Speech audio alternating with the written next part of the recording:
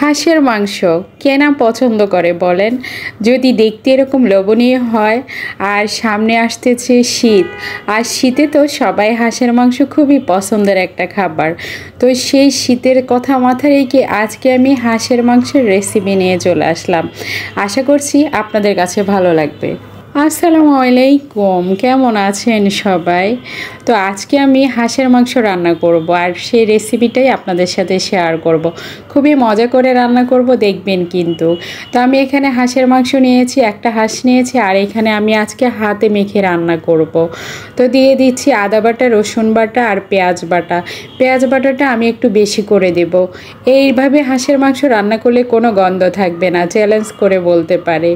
আর এখানে আছে জিরের গুঁড়ো, হলুদের গুঁড়ো, ধনিয়া গুঁড়ো, গরম মশলার গুঁড়ো। গরম মশলার গুঁড়োর সাথে জায়ফল, জয়ত্রী, ছোটো এলাচ, বড় এলাচ সব কটা গরম মশলার গুঁড়ো আছে। আর আমি এখানে যেহেতু বাটা পেঁয়াজটা একটু বেশি দিয়েছি, তাই আমি এখানে কুচি করে পেঁয়াজটা একটু কমই দিলাম। সবকটা মশলা দিয়ে দিয়েছি, আর এখানে দিয়ে দেবো আস্ত কিছু গরম মশলা। আস্ত কিছু গরম মশলা দিয়ে দিয়েছি, আর এখন দিয়ে দেব পরিমাণ মতো তেল। আর আমি আজকে রান্না করব সরিষার তেল দিয়ে। আপনারা চাইলে সরিষার তেল দিয়ে রান্না করতে পারেন, যার যার পছন্দ মতো। তো আমি এগুলো খুব ভালো করে এখন হাতে মেখে নিতে হবে। মাখার উপরে ডিপেন্ড করে কিন্তু স্বাদ আসবে, তাই খুব ভালো করে মেখে নিতে হবে। স্বাদ মতো দিয়ে দিচ্ছি লবণ আর আমি এখানে আস্ত কয়েকটা রসুনের কোয়া দিয়ে দিচ্ছি। এই রসুনের কোয়াগুলো দিলে রান্নার টেস্টটা অনেক বেশি বেড়ে যাবে। তো খুব ভালো করে মেখে নিয়েছি, এখন আমি এক ঘণ্টার জন্য ফ্রিজে নর্মালে রেখে দেবো।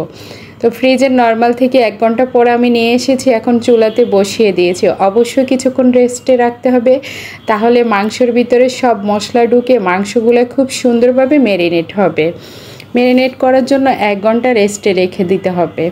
তো এখন আমি চুলার উপর বসিয়ে দিয়েছি আর এ দেখতে পাচ্ছেন হাঁসের থেকে অনেকগুলো পানি উঠে এসেছে। আর এই পানিগুলো দিয়ে হাঁসটাকে, মাংসগুলোকে খুবই ভালো করে কষিয়ে নিতে হবে।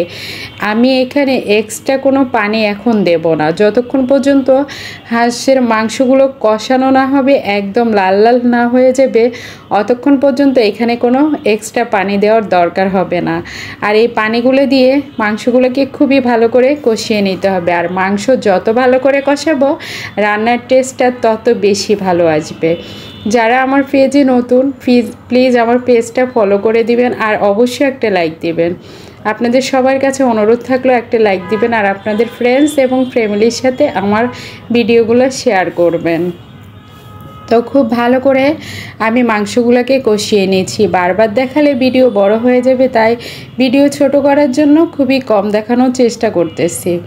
তো মাংসগুলো প্রায় কষানো হয়ে গেছে আর মোটামুটি সিদ্ধও হয়ে গেছে। দেখতে পাচ্ছেন খুব সুন্দরভাবে কষানো হয়ে গেছে আর তেল উপরে উঠে এসেছে। এই পর্যায়ে আমি কিছুক্ষণ নেড়ে চেড়ে এখানে আমি ফুটন্ত গরম পানি দেব। অবশ্যই ফুটন্ত গরম পানি দিতে হবে, এখানে ঠান্ডা পানি দেওয়া যাবে না, তাহলে স্বাদটা নষ্ট হয়ে যাবে। তো আমি এখন এখানে ফুটন্ত গরম পানি দিয়ে দিয়েছি, পানিটা বেশি দেওয়া লাগবে না। কারণ মাংসগুলো এমনিতে আগেই সিদ্ধ হয়ে গেছে, তাই এখন এখানে পরিমাণ বুঝে কিছুটা পানি দিলে হবে। তো আমি যেহেতু এটা কষা কষা করব, তাই আমি পানি কম দিয়ে নিয়েছি। তো এখন আমি এখানে পানি দিয়ে ভালো করে নেড়ে চেড়ে ঢাকনা দিয়ে ঢেকে দেবো। ঢেকে দিয়ে রান্না হওয়া পর্যন্ত দেখতে পাচ্ছেন আমার রান্নাটা কিন্তু হয়ে গেছে। খুবই মজাদার একটা রেসিপি হয়েছে বিশ্বাস করেন আমার বাসার সবাই খুবই পছন্দ করে খেয়েছে। আমার আজকের রেসিপিটা আপনাদের কাছে কেমন লেগেছে? অবশ্যই কমেন্টস করে জানাবেন। সবাই ভালো থাকবেন সুস্থ থাকবেন আল্লাহ হাফেজ।